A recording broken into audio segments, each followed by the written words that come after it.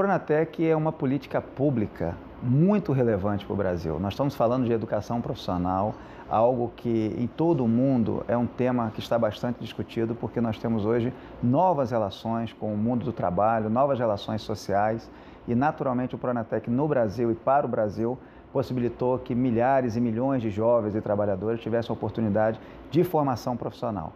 Portanto, é uma política pública de extrema relevância para o desenvolvimento do país. Como toda política pública, o Pronatec está em processo contínuo de aperfeiçoamento. Então, é, já para esse ano e para esse próximo ciclo, é, há aperfeiçoamentos no programa que diz respeito tanto à sua é, reestruturação em termos de, por exemplo, um controle mais afinado da participação dos estudantes. É, no caso do Pronatec, tem uma inovação, ou seja, os estudantes eles participam ativamente do seu controle de frequência. É, da mesma forma, nós temos a referência de 85% de conclusão.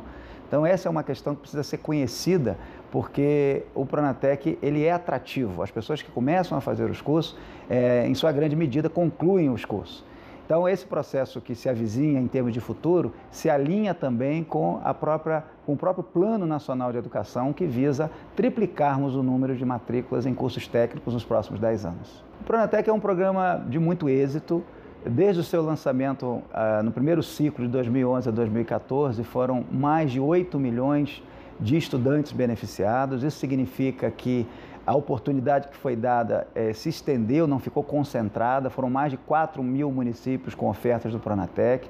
Nós tivemos eh, boas chances de empregabilidade para muitos públicos diferentes, com a participação de ministérios, parceiros do Ministério da Educação. Foram mais de 15 ministérios, atendendo a mais de 40 perfis de públicos diferenciados. Participação em parceria com as secretarias estaduais de educação.